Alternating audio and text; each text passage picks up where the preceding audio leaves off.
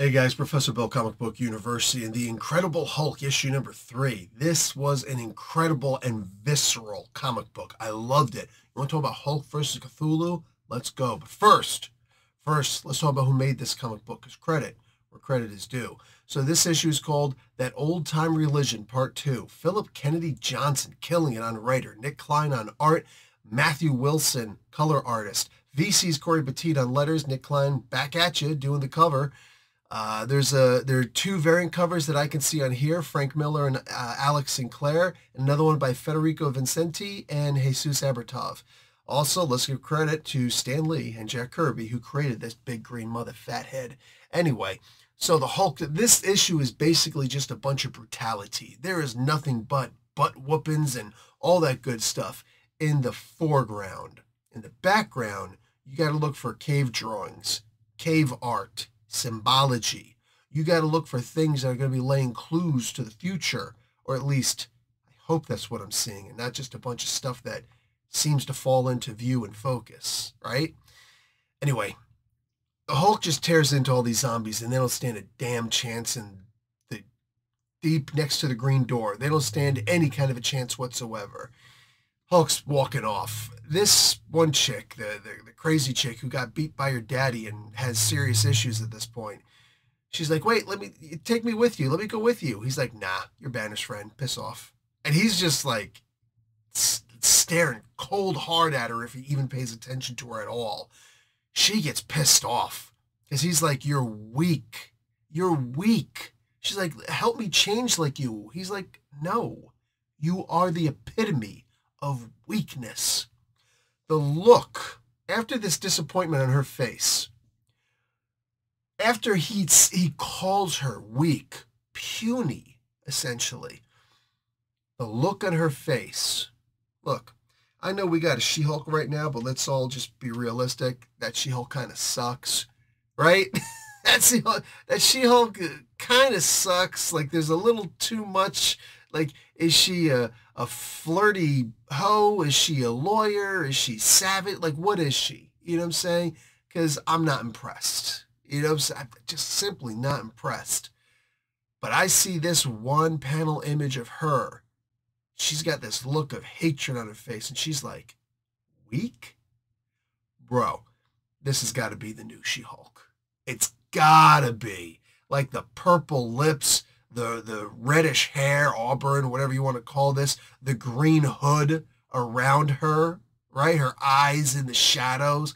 This has got to be the new She-Hulk, and I demand it at this point. Uh, it's something that we were, I think a lot of us were kind of sort of hoping to see in the Immortal Hulk, right? I forget what that one black chick's name was, but who wound up being able to see into the gamma yeah, this this is what I was really hoping to see out of her.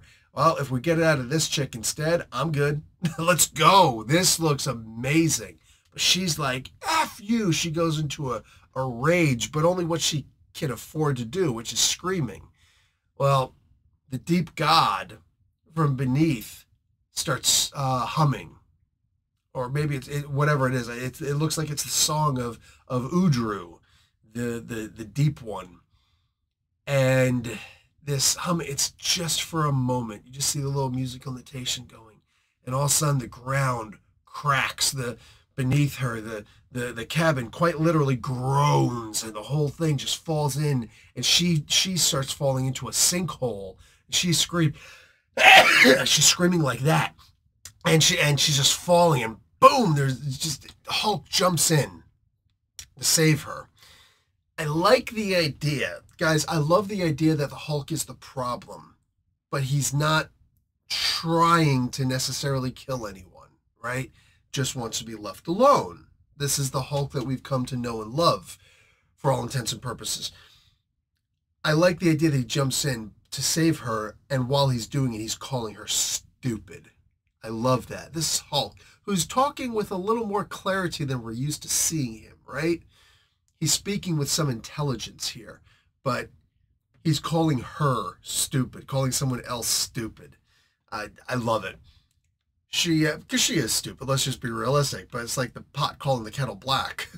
so, um, what do you call it? He laid. He's just calling her stupid the whole time, and she's like, "What's going on?" It's like, "Don't care. We're leaving." But as he gets ready to leave, this zombie's hanging from the freaking walls and and talking and spreading this message and pointing to the cave drawings, the cave art on the walls. You want to talk about freaking Cthulhu, man? The many armed one, the many eyes, the many blind eyes.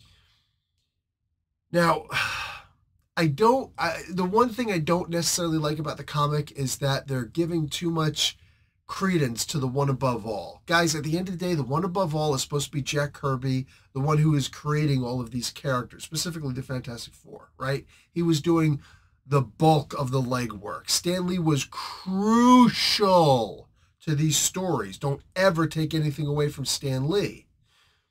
The, the problem is people like to try and take away from Stan Lee to give to Jack Kirby. No, you simply have to pay attention to all that Jack Kirby's done all the greatness that Jack Kirby has done. And it, it in some ways, it kind of makes what Stan Lee did pale in some ways. But you also have to understand that these two were doing an incredible dance. And a dance by yourself, you know, doesn't really look that great. Looks a little freaky. Breakdancing is cute to watch and all that stuff, but you watch a good tango, you know I'm saying? That's that's something different. You know, that's where you're looking at like, wow, this is freaking art, you know?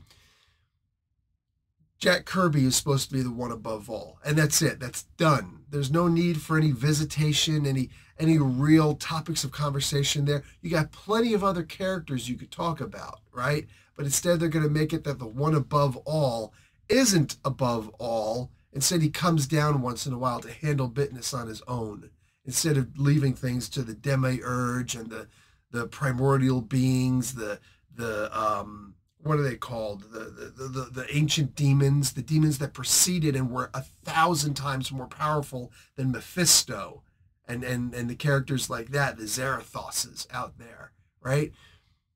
I'm talking like the, he, he didn't just leave it to them. Instead, he comes down and handles things himself. I'm not particularly fond of that idea. I'm not, right? Especially Al Ewing already created the different the various firmaments and whatnot. Yeah, that, that's kind of a little bit frustrating. It is what it is, though. All right, so the the the great old ones, right? The, the Cthulhu mythos. So that's that's kind of what this character is. Maybe that's all that we're doing here. We're just making more more uh, primordial gods on here, I guess. I don't know, but I don't like that the the one above all is actually coming down and, and handling these things. It is what it is, though. In the meantime, anything that you don't understand from this point on is going to be explained in the final page. And I dig on that. I really like that. I think that we are seeing some remnants of Atum on here. Most of the time we see these old stories these stories of greater than God beings um, manifesting on the pages of Marvel. We don't usually see those anymore. And when we did, it was mostly in the Thor comic books, right? We, we'd see beginnings of something happening in the Fantastic Four, but if we saw something ending, it was usually Roy Thomas doing stuff in either Thor or Doctor Strange, these these much greater beings. But I like the idea right now of Phillip Kennedy Johnson exploring some of these creatures in a Hulk comic book because the idea of it taking a monster to defeat a monster, I'm okay with that. I really am because what a mess that'll make, right? Think about how Thor would handle some world ending being showing up. Think about the way Doctor Strange would handle some world ending being showing up. Now think about the way the Hulk is going to handle it, right? Spider-Man can't. Conan can't. You know what I'm saying? Not not quite on that level. He, he, he could be the pre-ending to something before it becomes something actually big. But something like this, something like the Hulk, this this is fire fighting fire. This can only be a mess. And I love the idea of it. I'm hoping this turns into what I think it's going to be, and I and I kind of think it is because I don't remember if I said anything in my previous reviews for this new Incredible Hulk series, but I know in my mind I was thinking at some point we're going to have to see the Swamp Thing show up, right? We're going to need to see something with a nexus of realities. We're going to need to see the Swamp Thing, this creature who can and can't hurt the Hulk, and meanwhile can and can't be um, be hurt by the Hulk. And sure enough, the Man Thing is going to be showing up in the next issue. I am so incredibly down with this. I'm wondering where where Johnson is going to go with this. I'm wondering where this whole story is going to go because there's no way that this is the ending of this particular Udru in this. Okay, there's a good fight. This is really fun. You guys are going to enjoy this fight. This is visceral. This is carnal. This is everything you would want from a freaking Hulk comic. But it feels like it ends only for them to give a background on everything, where this thing came from. Because if this thing is truly defeated, then who cares, right? But to me, this is almost like what if you woke up to a burglar jumping on top of you and punching you in the face, right? Never happened. Never happened to me. But I can only imagine, you know, you wake like how are you gonna fight back, right? Like that that's pretty much your but the best you could do is hope that you can get this guy out. You know what I'm saying? And, and, and running away, but you're you're gonna be pulp for a while, right? But now imagine you see this guy a week later, you're healed up enough, right? And you see this guy on the streets selling your stuff, selling your wife's stuff, selling your kids' stuff, right? And you see him selling the stuff on the street, and you're just like, oh, and I got the drop on him this time. That's going to be a very different fight. so I'm hoping this was just this, the you know, this Udru character just woke up, and, and, and, and, and now he's going to see the Hulk walking off, and you know, one of these days, and just be like, you know what? Got your ass. You thought you were done with me, didn't you? Kind of looking forward to that. Guys, that's all I got for you. This was an incredibly fun issue. This is this is that fight that we've been hoping to see since we didn't really see enough of the Hulk, especially in the previous issue, right? We really didn't see enough of the Hulk, and now we've actually got what Johnson's going to be bringing us with the Hulk himself, not just Banner, not just with all these other characters out here. This was really good, and I loved how savage this was. Really looking forward to the future of this comic book. Future's bright with this one, man. Holy crap. Don't forget, I got a Kickstarter starting. Is it tomorrow? It's on the first. No, there's 31 days this month. Okay, so Friday. So Friday is the day that my Kickstarter starts. It's going to be a book on riddles for the Dungeons and Dragons esque fantasy setting. More than 300 riddles in it, guys.